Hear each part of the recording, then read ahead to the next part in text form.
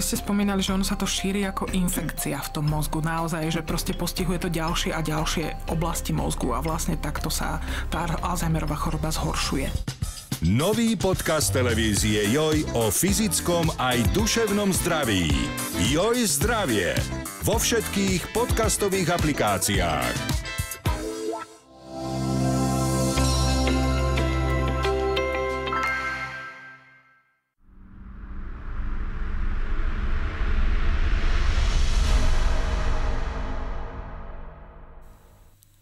Predstavte si, že sa zobudíte a v uliciach vášho mesta sú tanky a vojaci so zbraňami. Nikto nevie, čo sa vlastne deje, snažíte sa získať informácie a tak zapnete rádio. Postupne ale jednotlivé redakcie, ktoré bežne vysielali, vysielať prestávajú. Ľudia strhávajú značky, aby stiažili postup okupantov. Píšu na steny heslá, stavajú sa na odpor.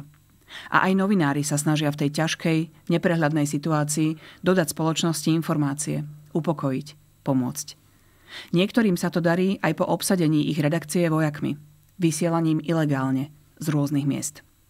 Jedným z nich bol v augustových a septembrových dňoch roku 1968 aj Fedor Mikovič. Toto je 24 podcast, moje meno je Veronika Homolová-Teutová, som editorkou Joj History. Vítajte u nás, pán Mikovič. Ďakujem pekne.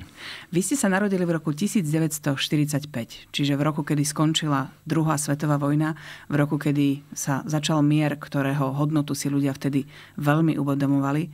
Máte vy pocit, alebo máte takú spomienku z detstva, že to povojnové obdobie vás nejakým spôsobom ovplyvnilo? Určite, pretože e, môj otec ako vojak základnej služby v martinských kasárniach e, sa so svojou jednotkou, s celým e, plukom martinským pripojil k povstaniu. Prešli do Kantorskej doliny, kde nakoniec potom cez letecký most z Kieva pristáli aj sovietskí e, velitelia na čele e, s plukovníkom Veličkom, vtedy bol kapitánom Veličkom. A otec, keďže vedel ako tak po francúzsky, sa, e, si ho Veličko vybral ako svojho pobočníka a to preto, že sa očakával príchod francúzskych partizánov z e, väzenia, lepšie povedané, z koncentračného tábora v maďarskom Diori. A on takže, vedel po francúzsky. Áno, áno, áno, takže tak. takže vlastne tá hodnota boja za slobodu alebo postaviť sa teda na obranu tej slobody a demokracie, tak tu ste mali v rodine. Áno, e, aj keď e, táto situácia bola nepomerne odlišná v tom, že nastala zo dňa na deň. My sme sa zobudili a v československých uliciach bolo 500 tisíc vojakov. 500 tisíc. Bolo tam 600 tankov v Československu. 2000 e, diel. 6300 e, nejakých obrnených vozidiel. No proste e, nová vojna v podstate vznikla, vojnová situácia a málo kto z nás si to vedel predstaviť. A nám nezostávalo nič iné, nám rozhlasákom vtedajším, len postaviť sa proti tejto obrovskej presile, proti tejto obrovskej armáde a proti jej činom slovom. Chápem. Vy ste mali vtedy 23 rokov ano, v lete ano. 1968 a vtedy, keď sa to teda stalo z noci z 20. na 21. augusta, boli ste zamestnancom Československého rozhlasu, v, pôsobili ste v štúdiu v Banskej Bystrici. Ako si spomínate na to ráno? Kedy ste sa vlastne vôbec dozvedeli, že teda už aj v mhm. Banskej Bystrici sú vojska? To ja som sa práve vtedy vrátil, asi týždeň, no posledného júla som sa vrátil v 68. z základnej ročnej vojenskej služby. A vtedajší šéf-redaktor Bansko-Bystrického rozhlasového štúdia Vilko Mráz ma poveril zostavovaním relácie Rádio Víkend. Ona už bola rok v behu, v éteri a pracoval na nej Lacko Balek. E, čiže stal som sa spolupracovníkom Ladislava Baleka a trvalo mi to týždeň, pretože prišla noc z 21. na 22. augusta a prišli naši osloboditelia v úvodzovkách z východu. Ako si spomínate na to ráno? Prišli ste do redakcie alebo prišiel niekto pre vás? Nešiel som do redakcie, viezol ma kolega Karol Demud na svojom Trabante. Ráno o štvrtej, my, my sme bývali s rodičmi na, to som ešte bol slobodný, e, sme bývali na štvrtom poschodí a odrazu zvonec. Kto môže ráno o štvrtej zvone? Nik, nič sme nevedeli. On mi len cez z, z balkóna som sa nahol a vysvetlil mi, čo sa deje či idem. No samozrejme, nahádzal som sa do, do nejakých nohavíc a košele a utekali sme spolu. Zobrali sme ešte cestou Zdenka Oravca, nášho redaktora, to už bol taký vtedy skúsený redaktor. No a prišli sme do budovy, tam nás už čakal e, vtedajší riaditeľ rozhlasu e, Ondrej Bartoš, e, vrátnik, ktorý mal službu a E, niektorí ľudia, ktorí prišli z krajského výboru stranu, strany, ale pôsobili na tej Dubčekovskej e, báze a na tej línii, čiže pridali sa k nám. A e, boli asi dvaja alebo traja. No a postupne prichádzali ďalší technici, a na nich stálo to vysielanie. My sme sa im do toho nemiešali, my sme si robili nejakú koncepciu vysielania a oni nám pripravovali vysielanie tak, že sme sa asi o pol siedmej ráno mohli napojiť na vysielanie e, pražského e, štúdia Československého rozhlasu a to bolo vtedy, keď sa tam už ozývala strelba. E, bolo tam niekoľko mŕtvych ľudí a vedeli sme, že situácia je veľmi vážna. Začali sme vysielať na našom okruhu stredoslovenskom, ale naši zdatní technici e, nás poprepáňali na celoslovenské vysielanie a keď nás potom neskôršie o 24-25 hodín v noci obsadili, už 22 augusta, tak my sme už boli skonsolidovaní a mohli sme vysielať na federálnom okruhu ako jediné štúdio, Českoslo- krajové štúdio Československého rozhlasu vedno s Prahou. Potom sa mm, asi pol hodinu pri, po nás pripojilo aj plzenské štúdio a oni vysielali iba do 9. hodiny, lebo ich e, nejaká hliadka sovietskej, tej okupačnej armády odhalila, možno aj za pomoci nejakých dobrákov a rozstrieľali im celú budovu, celé nové vysielanicie zariadenia, no proste redakcie a vyhnali ich z, z, z budovy. Čiže v celom československom éteri zostala Banská Bystrica a e, Praha. Praha. A vy ste vlastne boli tí, ktorí naozaj vysielali zo svojho vlastného štúdia najdlhšie, dá sa povedať, lebo vás dlho nevedeli tí okupační vojaci nájsť. Áno, je to tak, lebo e, naše štúdio vzniklo v roku 1957 síce.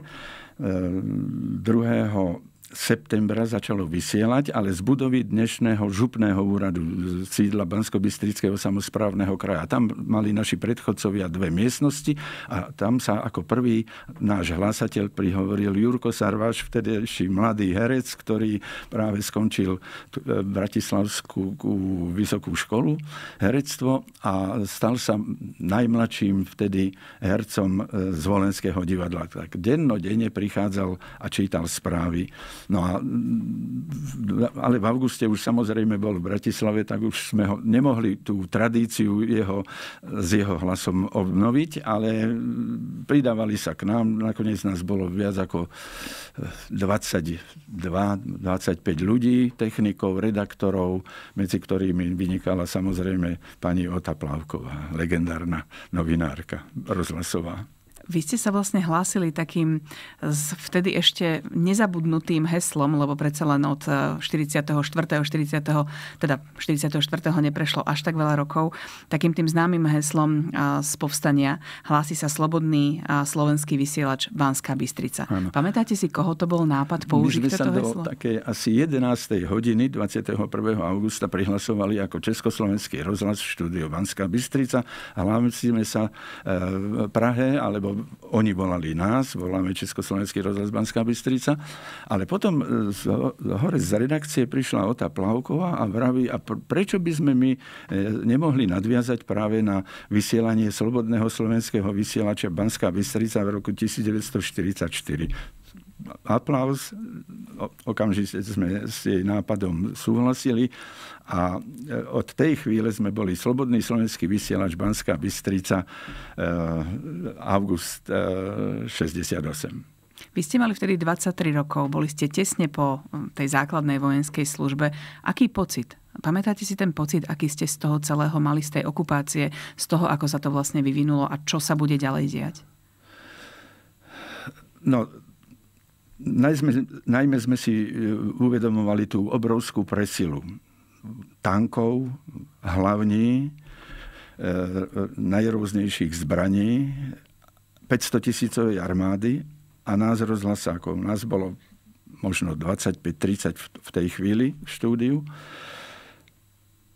a v Prahe ich bolo o niečo viacej tam to skončilo veľmi zle, preto sa takisto museli z rozstrielanej budovy Pražáci z Vinohradov premiesňovať do takých, no, my, hovorilo sa tomu ilegálne pracoviska, lenže my sme boli oficiálny československý rozhlas. Nás nikto nezrušil, takže my sme sa potom dohodli aj s Pražákmi, že sa budeme prihovárať ako československý rozhlas, Banská Bystrica, Slobodný slovenský vysielač.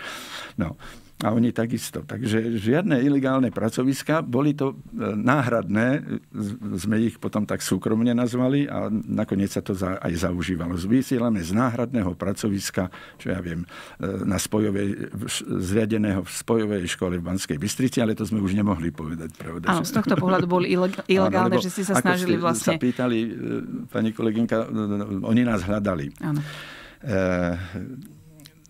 vys, vys, výsadkári a nakoniec aj veľké vojenské zbranie, tanky, obrnené transportéry vykladali e, na letisku Triduby e, na Sliači a odtiaľ sa potom rozliezali do celého stredného Slovenska a e, možno ešte aj ďalej.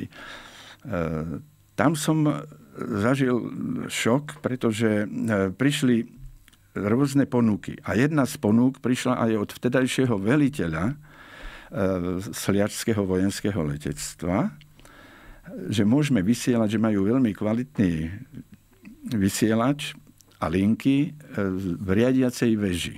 Pretože e, sovieti vtedajší vojaci, ktorí tam pristávali, doviezli svoje nákladné auto kompletne vybavené vysielacími zariadeniami Takže oni používali na pristávanie tých, toho množstva. Tam každú, každú, každú minútu, 2-3 minúty a pristávalo veľké e, nákladné lietadlo Antonov, či už s vojakmi, alebo s, s, s, s proviantom, alebo, s, alebo so zbraňami. No a e, my sme sa skontaktovali s tým veliteľom toho letiska, on nás zobral aj Štefana Ivančíka, šéfa našej techniky a išli sme na, hore schodami na to na pracovisko tých vojenských e, pilotov, odkiaľ boli riadení, ale vtedy som si uvedomil, na čo ste sa pýtali, že toto nie je schodná cesta, pretože ja som sa obzrel dozadu, hluk, pristalo lietadlo. Obzrel som sa na ľavú stranu, hluk, pristalo druhé lietadlo. Tak takýto hrdinovia reku nechceme byť ani sme neboli, pretože hrdinu sa môže človek stať až kým nezomrie. Áno, síce sa hovorí, že pod lampou najväčšia tma, ale toto bolo asi príliš riskantné. Áno. Ale tých miest, odkiaľ bolo ste... Cez čiaru, tá, tá, tá tma. Odkiaľ ste potom vysiali, bolo vlastne niekoľko. Spomínali ste Áno. už jednu školu? Zaujímavé, že sa nám e, ozývali viacerí ľudia, najmä našim technikom, s ktorými sa poznali. E, a vedeli, že sa stiahujeme z miesta na miesto, z pracoviska na pracovisko, takže nás oslovil aj vtedajší riaditeľ odborného e, učilišťa spojov, oslovil nás riaditeľ e, strednej e, elektrotechnickej školy v Banskej Bystrici, riaditeľ nejakého zosilovacieho pracoviska, takzvaná zosilovačka to bola, a ešte z niekoľkých miest. A my sme si potom mohli už aj vyberať tie náhradné pracoviska. Síce utajované, náhradné, ale nie ilegálne. Vysielali sme ako Československý rozhlas. Chápem. Ako to bolo so získavaním informácií? Chodili vám ľudia a hovoriť niečo, čo videli, čo zažili, alebo prípadne vám niekto telefonoval? Telefóny nefungovali. Už asi od 8 hodiny bolo všetko vypnuté. Tak, ako bol vypnutý na príkaz vtedajšieho ústredného riaditeľa československých eh, telekomunikácií Hoffmana eh, všetky vysielače tie hlavné vys- eh, veľké vysielače silné, zosilovacie stanice. To všetko bolo už odstavené, čiže my sme museli všetci v krajoch hľadať náhradné pracoviska. Aj tu v Bratislave sa to podarilo kolegom, začalo vysielať stanica Dunaj a netrúfnem si povedať presne, kedy to bolo, ale myslím, že na druhý deň potom od 22. Ale to hovorím bez záruky. No a... Čiže odkiaľ ste mali informácie, čo vlastne chcete tým divá, teda poslucháčom povedať? Odkiaľ tie informácie prichádzali? Bystričania vedia, kde sme sa presťahovali z tej prvej budovy terajšieho e, kraj, toho krajského e, riadiaceho nášho centra takže bola to nová budova, tak ako v Plzni, veľmi moderná na tú dobu. Bolo by už škoda rozstrieľať, ako povedali, eh, preto sa aj vysťahovali eh, nakoniec naši kolegovia, ja s nimi z tej novej budovy. A ľudia vedeli, že bývame na, a pracujeme na ulici Ladislava Sáru.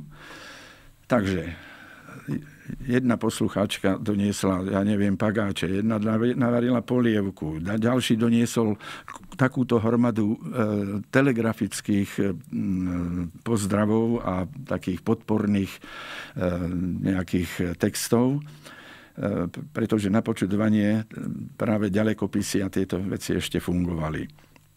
No a e, tak sme sa dozvedali aj, aj v priamom kontakte. Ale to bolo len do, do polnoci. Potom už o nás nevedeli a museli sme, keďže ne, nefungovali ani telefóny, tak jedine osobné kontakty. Uh-huh. Vycestoval som do Detvy na otočku, lebo e, hneď v prvý deň e, tam došlo k tragédii, keď zahynul obyvateľ mesta pod kolesami, tanku. pod pásmi tanku.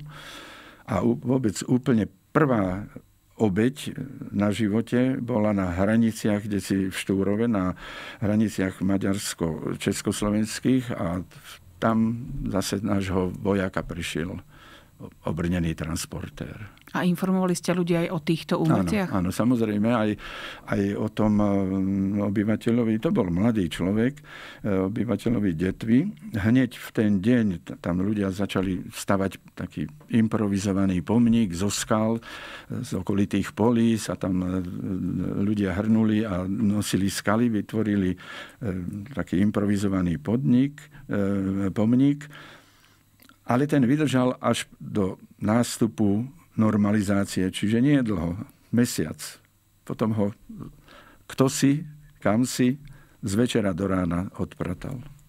Ako často ste sa vlastne do toho éteru prihlasovali? Mali ste nejaké pravidelné tie vstupy? Nie. Ehm, boli sme dohodnutí tak, pokiaľ budeme mať nejakú aktuálnu informáciu, ktorá môže zaujímať divákov aj v Hradci Králové, aj ja neviem, vo Františkových lázňoch, tak sme sa prihlásili a okamžite nás e, českí kolegovia púšťali do vysielania. Nebola nejaká zásada, že o čom budete hovoriť. Žiadna, e, žiadna nejaká, nejaký zásah, ktorý by mal nás, na naše vysielanie nejako nepriaznivo ovplyvniť. Čo sme mali nové, to, to išlo do vysielania. A takto to fungovalo až do polnoci. A o polnoci už prišla potom hliadka na čele s jedným súdruhom v Montérkach, v ktorom sme nakoniec poznali nášho bývalého tlačového dozora, tak sme im hovorili tlačový dozor. To boli eštebáci, ktorí e,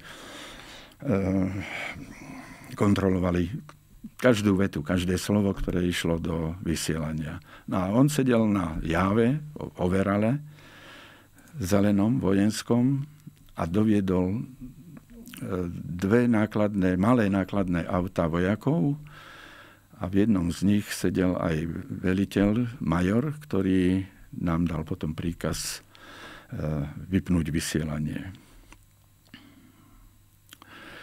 E, to bolo o 10 minút 12 hodín v noci, keď vstúpili do budovy. E,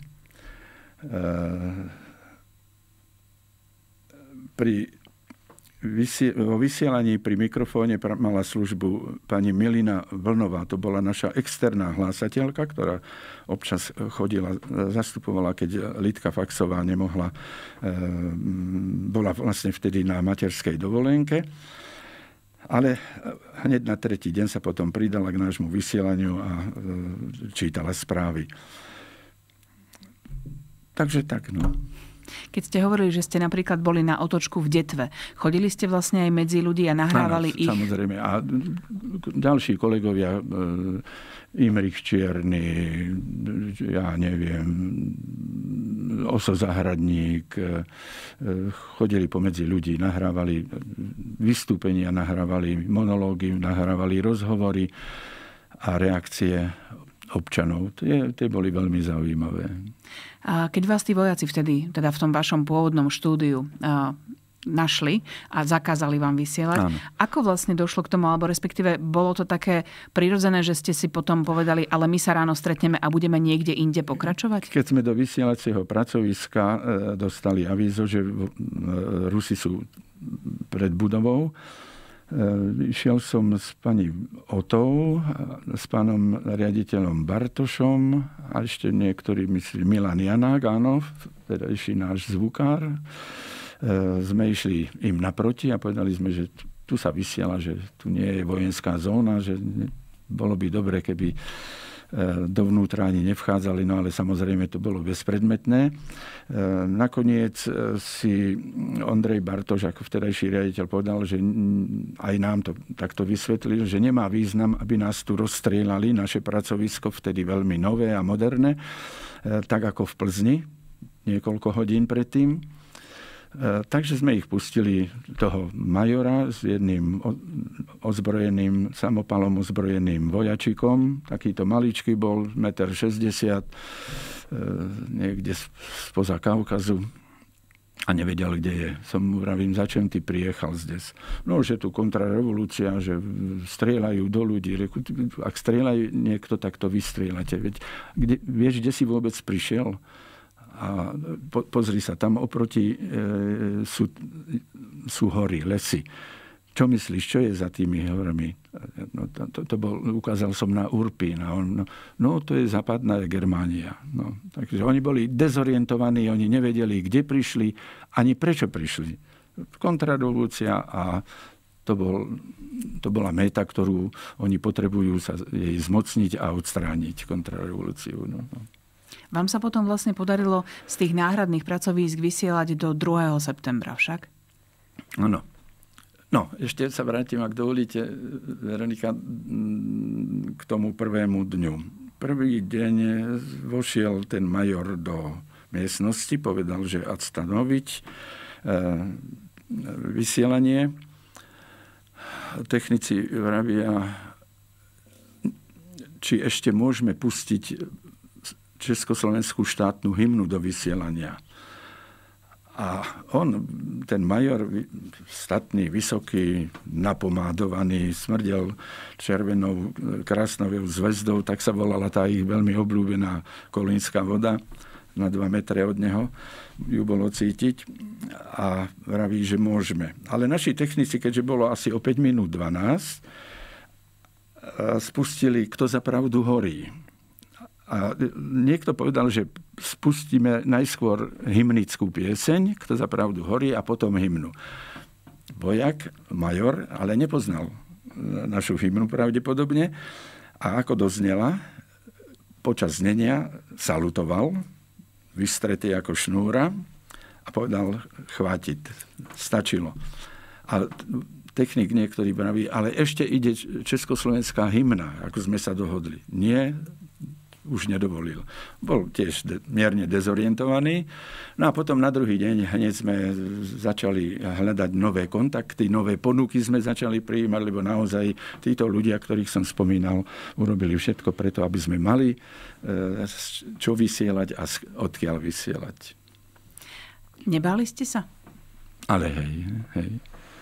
Samozrejme, to už na druhý deň, keď som išiel pešo, lebo autobusy nepremávali, samozrejme pešo do, do, roboty ráno o 6. a to som už vedel, že mám ísť na vojenskú správu, pretože v noci sa stretol náčelník vojenskej správy, istý, mm, myslím, že bol major Koval, so svojím náčelníkom budov alebo náčelníkom tak, tej, tej stavebnej časti e, krajskej správy vojenskej, že či môžeme poskytnúť, či môžu poskytnúť nám vysielanie, vysielačku.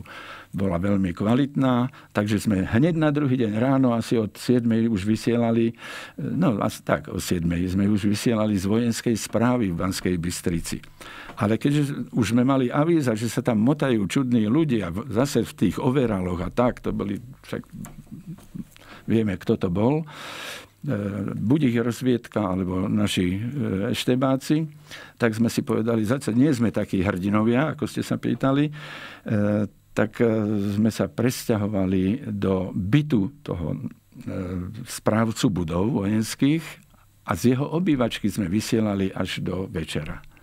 Na druhý deň sme už potom zase prijali pozvanie od pána riaditeľa e, okresnej e, správy spojov. E, na spojoch sme boli a, a vravím v tej elektrotechnickej škole. Uh-huh. A rozmýšľali ste nad tým, že keď raz budete musieť teda skončiť, ako sa to vlastne stane, že či vás opäť vypatrajú vojaci, alebo ako, to, ako k tomu teda príde? Vtedy sme rozmýšľali nad tým, čo bude a čo, bude, čo, čo dostaneme do vysielania celoštátneho, lebo už potom na tretí deň sa pripojila k nám aj e, stanica Bratislava, rozhlasová stanica, takže už sme nemali toľko toľko, toľko málo času na rozmýšľanie, že čo ideme vysielať, aké to bude kvalitné, či tam budú nejaké chybičky, krásy jazykové alebo štilistické. No a proste sa to začalo už tak trošku konsolidovať. No a e, potom prišiel 2. september, e, na ústrednom výbore komunistickej strany Československa zasadla tá Bilakovská, probilakovská e, vetva ústredného výboru rozhodli o skončení rozhlasového vysielania, rozhodli o ďalšej orientácii, politickej orientácii v krajine, nazvali to normalizačnou nejakou tendenciou, no a nastúpila normalizácia. Čiže my sme sa potom 2. septembra dostali v 68. znovu do štúdia, dostali sme od Eštebákov kľúče od e, budovy. E, pol dňa trvalo, kým sme, naši, najmä naši technici, to všetko spojaznili a vysielal sa neslaná, nemastná taká, taká nejaká, taký nejaký prúd hudby, či už ľudovej, či symfonickej, väčšinou nespievanej samozrejme. A hlásili sme časy. Asi tak sa dá povedať. Kde tu sa prečítala nejaká správa, ale tá už musela byť eh, v línii tej novej tendencie, ktorú vytýčil vtedajší ten konzervatívny e, ústredný výbor, už novozložený ústredný výbor komunistickej strany. Preverovali vás potom kvôli tomu, že ste sa teda vzopreli a niekoľko dní naďalej vysielali z tých náhradných pracovisk? Áno, to sa zase konalo na tom politickom krajskom ústredí. 21 e, ľudí muselo odísť od nás. Mňa keďže poznali zásluhy môjho otca a s nejakým takým e, dôrazom na to, že som mal 23 rokov, že som bol akože mm, ako to nazvať, nakazený tou, tou, tou novou vlnou, e, tak povedali, pol roka ti súdruh dávame čas na e, spametanie sa.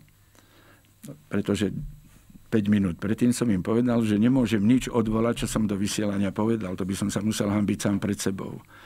No ale potom sa to nejak takto ťahalo, ťahalo aj vari pol druhá roka, až naposledy prišiel na rad Mikuláš Kováč, vtedajší náš redaktor a básnik.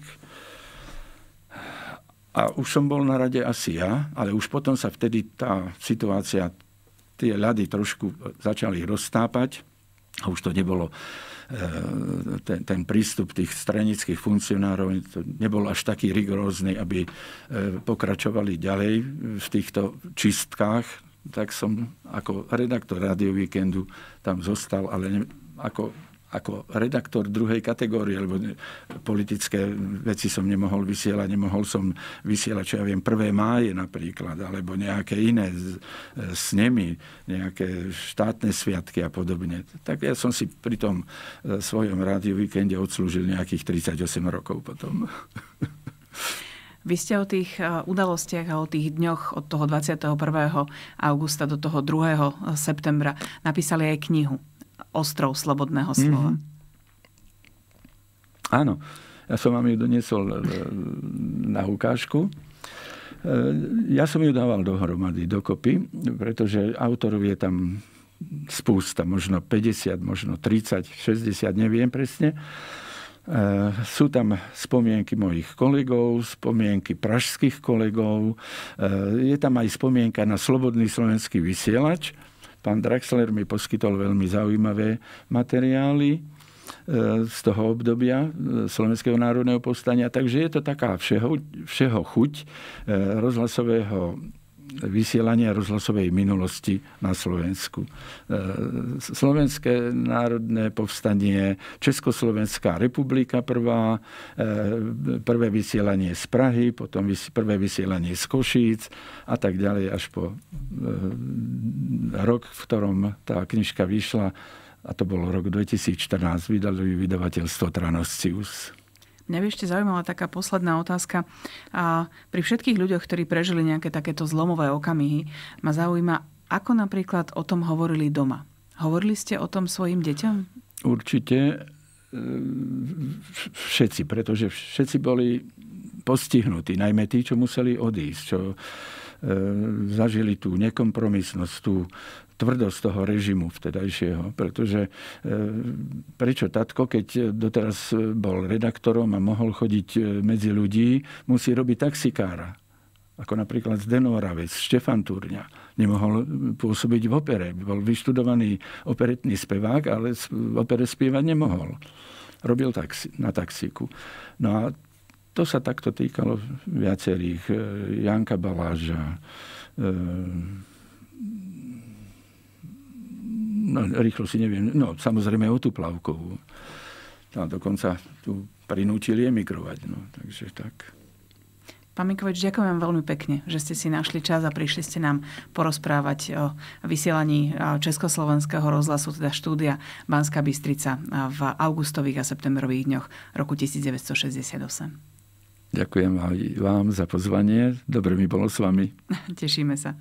Ďakujeme, že ste nás sledovali a počúvali. Ak vás zaujímajú historické témy, rozhovory s osobnosťami, ale napríklad aj informácie alebo reportáže o umeleckých dielach a ich neznámych aj známych príbehoch, staňte sa našimi fanúšikmi na Facebooku. Máme tam veľmi zaujímavé veci, ak teda tá história je to, čo vás zaujíma. Ďakujeme, že ste nás sledovali a počúvali.